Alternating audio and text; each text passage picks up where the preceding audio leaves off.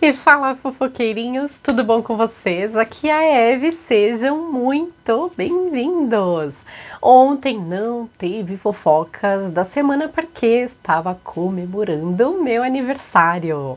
Então, desde já eu agradeço a todas as mensagens que eu recebi. De, nossa, foram mensagens muito carinhosas e eu fico muito feliz em receber tanto carinho e poder né, criar essa, esse laço aqui no tanto no YouTube como também lá no Instagram. Se você ainda não me segue lá no Insta, fofocas paradisíacas, viu? E se você ainda não deu parabéns e gostaria de dar, fique à vontade.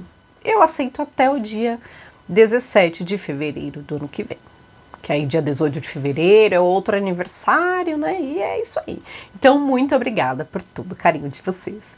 E hoje, então, sabadão, vamos para fofocas da semana, né, Brasil? Porque a fofoca mundo, move o mundo, diria, né? Então vamos começar com esse babado aí. Vocês sabem, né, como eu disse aqui no canal, que o Jeffrey, o cabra do pente da ex lá, foi sentenciado e vai ficar muitos anos no xadrez 18 anos sem direito à liberdade condicional. Tá sabendo disso, Catarina? Tá sabendo? Kaká. Tá me ignorando. Mas enfim, então ele vai ficar aí todo esse tempo no xadrez. E o amigo dele, que até então defendia ele com unhas e dentes, o amigo John, vocês lembram do John também, né? O John é o inglês lá, marido da Rachel, que ainda não conseguiu ir para os Estados Unidos.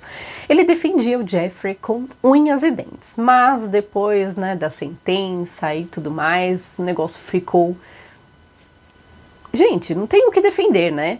Indefensável, eu diria. Então ele acabou postando essa foto babadeira aí com o, o a foto do Jeffrey com.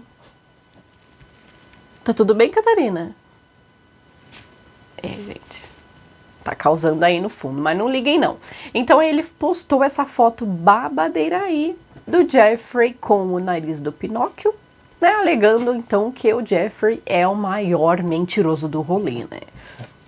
Embora ele goste muito da Varia e tudo, e até disse, né, que a Varia é uma ótima pessoa, agora ele já não sente o mesmo pelo Jeffrey, né, gente? Porque não dá para defender ele, né? Simples assim.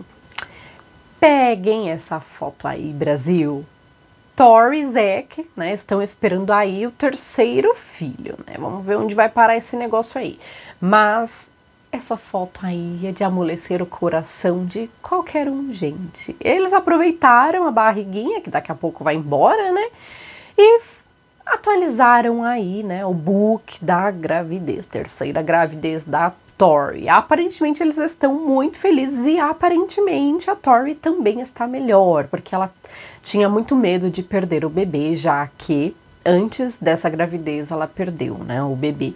Então ela não estava curtindo muito a gravidez, ela estava com muito medo, mas isso já passou, como a gente pode perceber, né? Pelo menos eu acho que passou.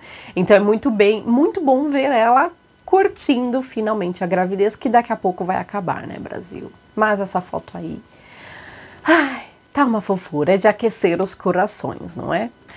Quem segura essa duplinha aí, os irmãos Everett, né? A sensata da Winter, né? E o babadeiro do River. Gente, eles são incríveis. Eu aprendi a gostar do River depois e tudo. No começo eu confesso que foi bem difícil gostar dele, porque, gente do céu, o povo que gosta de meter o B onde não é chamado, né, Brasil? Como pode uma família ser tão intrometida desse jeito? Não dá, né? Mas depois eles acabaram, ele acabou ganhando meu coração. O meu coração a Winter já tinha, gente, porque eu acho ela uma fofa, ela é muito sensata nas coisas que ela diz. Comente aqui depois a opinião de vocês que eu vou adorar saber. Mas, gente, ai, eles são uma gracinha, né? Vamos falar a real. E e a fofura nível máximo, aí vai explodir aí, né, o feed, explodiu o nosso feed lá no Insta e aqui no canal também, né? Quem segura essa turminha aí? Essas jogadoras de futebol Brasil. Eu acho muito legal a, maneira, né, que os Busby criam as meninas e é muito legal porque elas topam qualquer esporte. E a gente sabe que praticar esporte é muito importante, né? Para socialização, também para saúde. E, gente, é de derreter o coração, não é, Brasil? Elas estão crescendo muito rápido, embora a gente veja lá no Discovery Home and Health vários episódios ainda que elas eram bem pequenininhas, né? Daqui a pouco elas completam 18 anos de idade e ainda tá passando episódio de quando elas eram crianças. Alguém duvida disso? Não dá para duvidar, né? Porque é a pura verdade. Mas a verdade é que elas são muito fofas também, né? Ah, eu fico babando nessas fotos delas, viu? E o Eric, o ex da Larissa Lima, Brasil, que resolveu cortar aquela cabeleira que ficava um pouco pra cá, um pouco pra lá, e fez esse antes e depois aí. E ainda perguntou a opinião do público, dos fãs, o que vocês acharam. E eu, particularmente, eu gostei muito do novo corte. Eu achei que ele rejuvenesceu um pouco, embora ele ainda tenha aí uma carinha de bebê, um dentinho de bebê, mas ele ficou bem melhor, né, Brasil, com esse cabelo cortado. Que, que vocês acham? Eu achei que ficou muito bonito e rejuvenesceu aí alguns anos. Não muitos, mas rejuvenesceu. O que importa é rejuvenescer, né? Não, Brasil, eu não sei nem como a gente vai ter esse papo aqui. Vocês lembram do Garrett, de Amor Fora das Grades? Ele participou da primeira temporada. Ele estava no xadrez e a Jonah, noiva dele, estava esperando aí ele sair do xadrez, né? E aí quiseram casar, aí ela acabou abandonando o casamento porque não era algo que ela queria e tudo mais, né? Casamento mequetrefe e tudo, né? E aí, minha gente, que ele está, né, solto, né? Ele está trabalhando, vivendo a vida, né? Com a sociedade ali, sociedade. E eis que ele posta essa foto aí, gente. Mas na hora, eu olhei e falei, ué, mas que, que, que é isso aí atrás, gente? O que, que é isso atrás? Close aí, produção. Close, por gentileza. Ele tirou foto no mictório, gente. Será que ele não percebeu que tinha um cabra atrás fazendo um xixizinho básico? Ou foi proposital para chamar a atenção? E aí, eu ainda escrevi lá, né, no, no post. Ah, a legenda fica por conta de vocês aí, fofoqueirinhos, se virem. E, gente, que legenda. Ai, Márcia, olha uma palma para você, porque essa legenda aí foi demais. Eu, ele e o xixi. Essa foi a legenda que a Márcia deu aí para essa nossa foto belíssima, né, gente? Privacidade zero, né? Nem, no, nem na hora do xixi a gente pode ter privacidade pelo jeito, né? Esse cara, gente do céu, é muito sem noção. Eu não sei o que, que ele tá pensando da vida, né? Mas enfim, se ele quis chamar a atenção, ele conseguiu, né, Brasil? A gente não pode negar.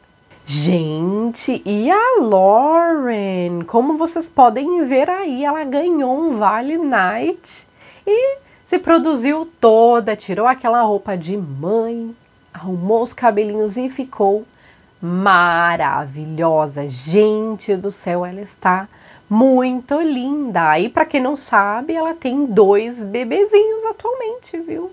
Será que vai vir um terceiro? Porque não sei se vocês lembram, mas eu já comentei aqui no canal que o Alexei ele quer três filhos com menos de três anos de idade. Então imagina só o babado, né?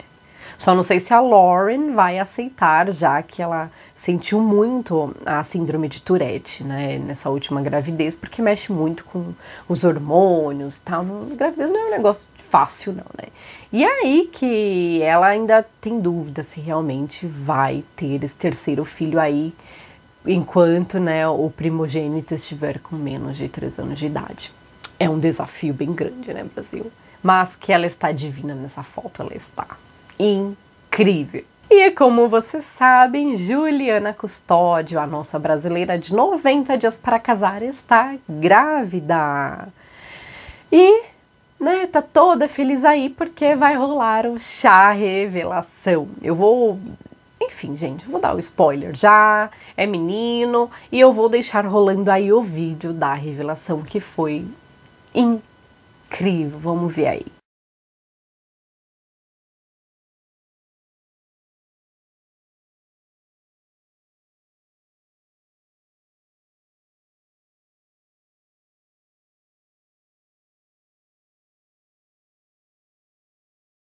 Então, como vocês viram, né, é menino, BBB da Juliana, e aparentemente será Benjamin o nome dele. Vai, vai adotar então o nome do papai.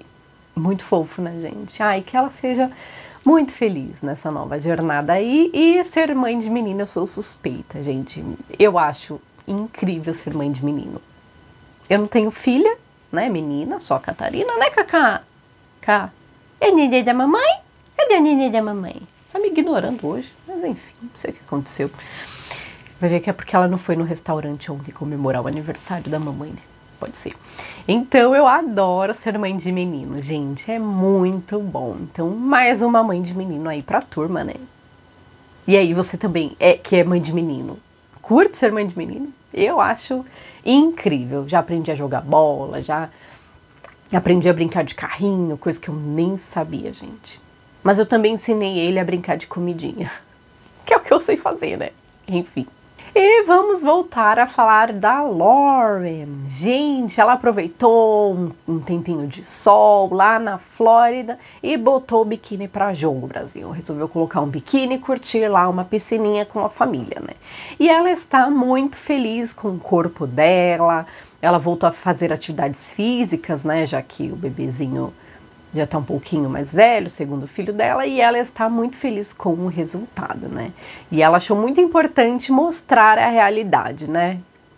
Não é todo mundo que acaba de parir e tem aquele corpo da, daquela menina lá do Insta, da Virgínia, gente. Aquela barriga ali é surreal, né?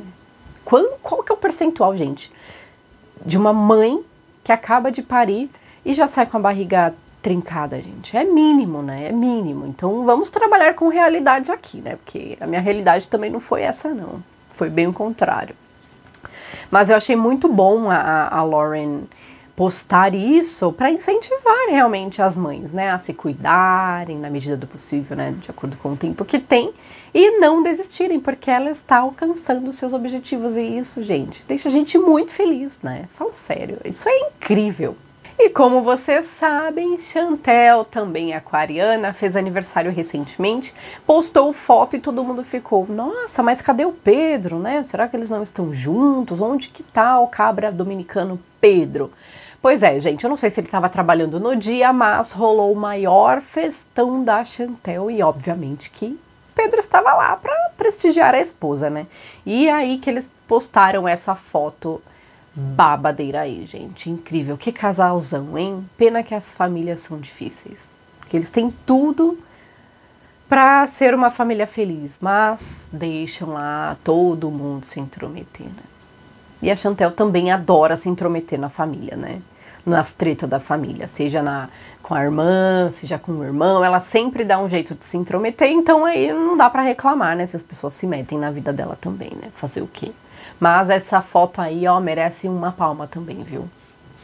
Tá de parabéns. E como eu disse, né, esse, hoje é sábado, esse vídeo... Catarina, pode ficar aí. Agora vai ter que ficar até acabar o vídeo. Catarina, você quer? Toca aqui então. Ah, é, sábado e uma fotinho aí para atualizar o feed, uma fotinho de biquinho não faz mal a ninguém, né, Brasil? Biquinho eu fui um pouco exagerada, né? Porque ela tem um bicão, né? Essas meninas aí, as irmãs Silva. Pois é, então sábado bora atualizar o feed, postar uma foto belíssima, produzida e de biquinho. Né, Catarina? Biquinho pra você. Hum.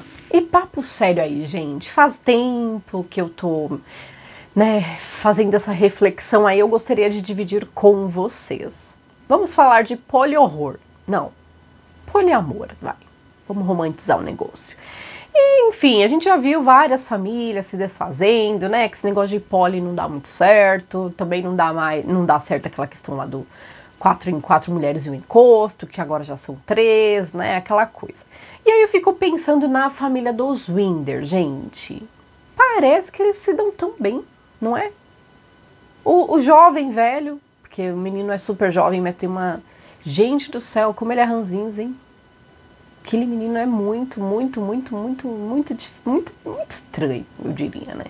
Enfim, o Colton. E aí, né, poxa, parece que elas administram super bem a família, sabe? É, se dão super bem entre elas, elas administram muito bem ó, a divisão ali, com, quem fica com o marido hoje, quem vai fazer a janta hoje, aquela coisa toda, mas eu fico pensando, será que é assim mesmo, gente? Mas não rola nenhuma treta aí nessa família, gente. Olha, eu vou te falar, eu gostaria muito de saber a opinião de vocês, porque eu não sei se esse comercial de margarina existe. Né? Mas é a única família que eu vejo que não tem treta, que todo mundo se dá bem, as meninas a, são mães dos filhos, né? As duas são mães dos filhos do, da outra e tudo, é aquela coisa. Mas eu confesso que eu fico bem curiosa em saber se realmente a vida é daquele jeito, né? O que, que vocês acham?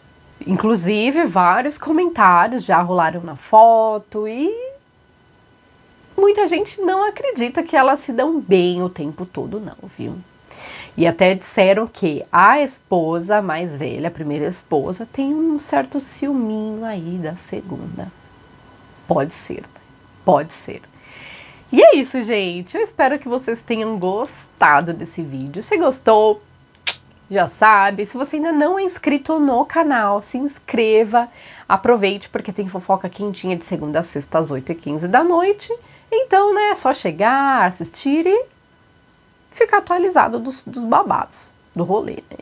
E é isso, eu gostaria muito de agradecer de novo por todo o carinho. É uma satisfação imensa poder compartilhar tudo com vocês. Em breve teremos mais novidades. Fica de olho. E é isso.